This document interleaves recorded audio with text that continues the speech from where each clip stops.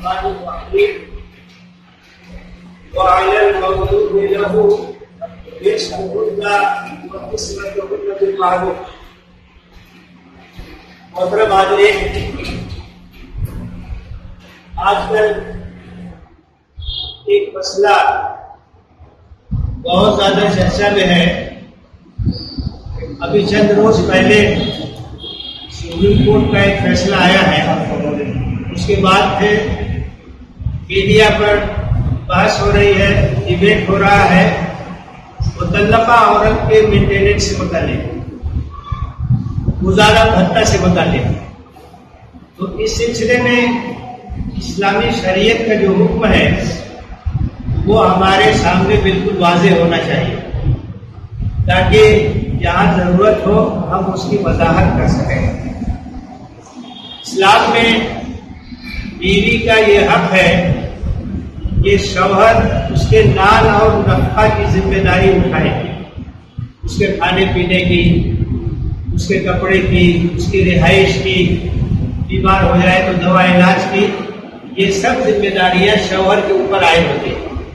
अल्लाह ताला ने फरमाया है वल मौलूद लहू रिस्क व किस्वत बिल मारूफ बच्चे का जो बाप है, उसके ऊपर बीवियों को खिलाना पिलाना, उनकी पोशाक का इंतज़ाम करना, दस्तूर के मुताबिक लाजिम है, फ़र्ज़ है। ये उसकी ज़िम्मेदारी शवर होने की हैसियत से।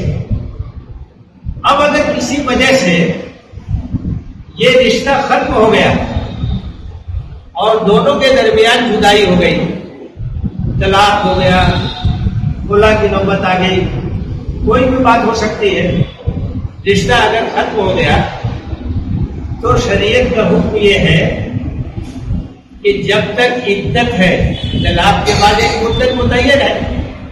जब तक इद्दत बाकी है शौहर के दिल में खर्चा देना है। वो इद्दत का खर्चा देगा, उसका इंतज़ाम करेगा। लेकिन जब इद्दत खत्म हो जाएगी तो रिश्ता खत्म हो गया। अब जब रिश्ता खत्म हो गया, अब मियाँ बीवी दोनों आज़ाद हैं, ये औरत कहीं भी चाहे शादी कर सकती है तो अब उस शौहर के ऊपर, जो साबित शौहर हो गया, कोई ज़िम्मेदारी नहीं। मेंटेनेंस उसके ऊपर आयद नहीं किया जा सकता। खर्चा की ज़िम्मेदारी उसके ऊपर नहीं है। यह औरत आज़ाद है, कहीं भी इसकी शादी हो सकती है, जहाँ शादी होगी, उसकी जिम्मेदार, उसका जिम्मेदार, उसका शौहर होगा। उसके जो खूनी रिश्ते के लोग हैं, उसके भाई बंद है, उसके वालिद हैं, ये लोग उसके जिम्मेदार होंगे। तो ये है शरीयत का हुक्म।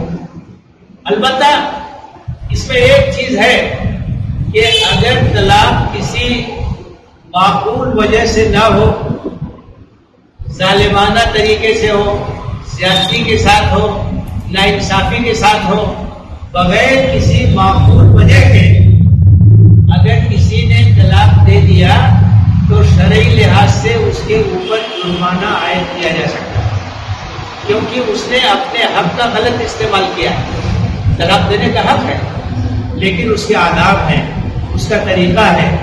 कुरान ने सब बताया है, अल्लाह के रसूल सल्लल्लाहु अलैहि वसल्लम ने उसकी वजाहत फरमाई है उन तमाम चीज़ों को फॉलो करना चाहिए। लेकिन अगर किसी ने बिला वजह तलाक दे दिया, किसी की ज़िंदगी को खराब किया, कोई माकूल वजह नहीं है, कोई माकूल बुनियाद नहीं है तो ये जुल्म है। ये नाइंसाफी है, और इस्लाम नाइंसाफी और जुल्म को बर्दाश्त नहीं करता। तो ऐसी सूरत में उसके ऊपर जुर्माना आयद किया जा सकता है। और जो भी मुनासिब जुर्माना हो, वो उसको अदा करना होगा। ये एक अलग मसला है। एक और चीज़ है जिसको इसके साथ मिला दिया जा रहा है। अगर बच्चे हैं, औलाद है तो ज़ाहिर है कि औलाद से बाप का रिश्ता कभी खत्म नहीं हो सकता। मियाँ बीवी का रिश्ता खत्म हो सकता है। लेकिन अगर बाप और बेटे का रिश्ता है औलाद का रिश्ता है तो वो तो कभी खत्म नहीं हो सकता। वो तो खुद ही रिश्ता है।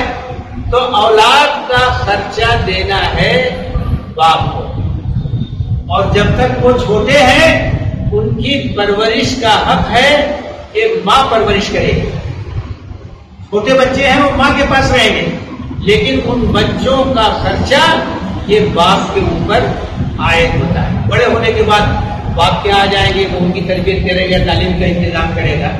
इन दोनों चीज़ों को मिला दिया जाता है। बच्चों का खर्चा तो बाप के ऊपर है, हमेशा रहेगा। उससे कभी वो बरी नहीं हो सकता है। वो उसका जिम्मेदार है, हमेशा वो खर्चा देगा।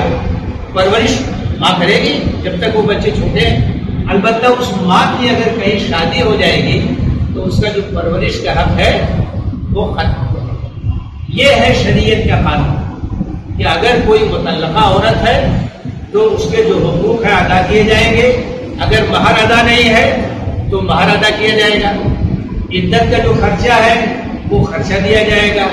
जो बच्चे हैं, उन बच्चों की किफालत भी करेगा। जब तक वो छोटे हैं, उनकी परवरिश का हक बापो है। बाकी पास रहेंगे। इन कि उसकी शादी हो जाए। तो शादी हो जाए तो अब पता नहीं कहाँ शादी होगी, वो बच्चों के साथ क्या सलूक करेगा। तो उसका जो हक है, परवरिश का, वो खत्म हो जाता है। बाप उनको लेकर के जा सकता है। अब यहाँ तक मसला है कि यहाँ फौजदारी की दफ़ा वन ट्वेंटी फाइव है एक सौ पच्चीस जिसके तहत मेंटेनेंस के दावे किए जाते हैं। तो वो तो फौजदारी की एक दफ़ा है और वो सबके लिए है। उस दफ़ा के तहत जो भी अदालत में जाएगा, जो खातून भी अदालत में जाएगी तो वो मुल्की कानून का एक हिस्सा है। जो अदालत है, वो उसके मुताबिक फैसला करेगी। अभी जो फैसला हुआ, उसमें भी यही हुआ है। तेलंगाना के एक वाकया है। अब तो समद नाम के एक आदमी ने अपनी बीवी को तलाक दिया। उसने वहाँ फैमिली कोर्ट में मुकदमा किया। दफ़ा 125 के तहत उसने गुजारा, भत्ता और मेंटेनेंस का दावा किया। वहाँ फैमिली कोर्ट ने यह फैसला दे दिया कि तीस हज़ार माहाना ये मेंटेनेंस देंगे। उसके खिलाफ वो हाईकोर्ट गए। हाई कोर्ट ने भी फैसले को बाकी रखा। अलबत्त थोड़ी सी तरमीम ये की कि बीस हज़ार के बजाय दस हज़ार माहाना देना होगा। तो अब वो चले गए सुप्रीम कोर्ट और उन्होंने कहा कि जो एक मुतल कानून मुस्लिम खातन के लिए पास है पार्लियामेंट से, उसके तहत है, ये हमारे ऊपर आयद नहीं होता है। तो 125 का जो इतलाक हो रहा है, उससे हमको मुस्तना किया जाए। सुप्रीम कोर्ट में गए, उनकी अर्जी खारिज हो गई। और सुप्रीम कोर्ट ने जो फैसला था हाई कोर्ट का और लोअर कोर्ट का, उसको बाकी रखा। तो ये दोनों रास्ते खिलुए हैं बिल्कुल औरतों के लिए। जो भी मुतलका औरत है, अगर उसे शरीयत पर एतमाद है, अगर उसे कुरान और सुन्नत पर भरोसा है, अगर वो अहकाम इलाही की पाबंदी पाबंदी करना चाहती है तो उसके लिए यही है कि वो इज़्ज़त के बाद खर्चे का मुतालबा न करे। उसके जो मुतलकिन है, वो जिम्मेदार है, वो उसका खर्चा उठाएँगे। कोई नहीं है, हुकूमत जिम्मेदार है। इस्लामी हुकूमत होती तो ऐसी खातन जो बेवा हो मुतलका हो, उनकी किफालत इस्लामी हुकूमत करती है। मुस्लिम माशरे की ज़िम्मेदारी है। बैतुलमाल के ज़रिए से वो उसकी किफालत करे और उसका इंतज़ाम करें। लेकिन शरई लिहाज से उसके लिए ये जायज़ नहीं है कि वो उस शोहर से जिससे रिश्ता खत्म हो गया। अब तो वो अजनबी हो गया। तो एक अजनबी आदमी के ऊपर हमारे खर्चे की ज़िम्मेदारी कैसे हो सकती है? ये तो बिल्कुल माकूल बात है। एक जेनविन बात है, जिससे हमारा अब कोई ताल्लुक ही नहीं रहा। जो रिश्ता था वो खत्म हो गया, जिसकी वजह से खर्चा उसके ऊपर था, वो वजह ही खत्म हो गई। तो उसके ऊपर मेंटेनेंस कैसे वाजिब हो सकता है? तो जिस औरत के अंदर भी अल्लाह रसूल का डर होगा और इस्लामी शरीयत की पासदारी का लिहाज होगा वो कभी ऐसे मामले को लेकर के कोर्ट में नहीं जाएगी। वो अपने उलमा से दारुल खजा से शरीय पंचायत से रुजू करेगी। और वो ये कहेगी कि शरीयत के लिहाज से मेरा जो बनता है, वो मुझे दिला दीजिए। शरीयत के अलावा मुझे कुछ नहीं चाहिए। और अगर किसी को शरीयत पर इतमान नहीं है, वो मुल्की कानून का सहारा लेना चाहे तो 125 के तहत तो रोज फैसले होते हैं। कोई नई बात थोड़ा है? सुप्रीम कोर्ट चला गया मामला, इसलिए हाईलाइट हो गया। ये तो फैसले आए दिन होते रहते हैं। बहुत सी खातन है जो दफ़ा 125 के तहत अदालतों में जाती है और उनके मेंटेनेंस के फैसले होते हैं। उस पर अमल दरामद होता है। आप ये समझ लीजिए कि अगर किसी का इंतकाल हो जाए तो अब उसकी जो प्रॉपर्टी है, वो प्रॉपर्टी कैसे वर्षा के नाम मुंतकिल होगी इसका कितना हिस्सा बनेगा, इसमें एक शरीयत के कानून है। जिसको हम कानूनी वरासत कहते हैं। अब अगर किसी के बाप का इंतकाल हुआ और वो ये चाहता है कि शरीयत के मुताबिक तरका तकसीम इस्लाम का जो कानून वरासत है, उसके मुताबिक जिसका जो हक है, उसे दिया जाए।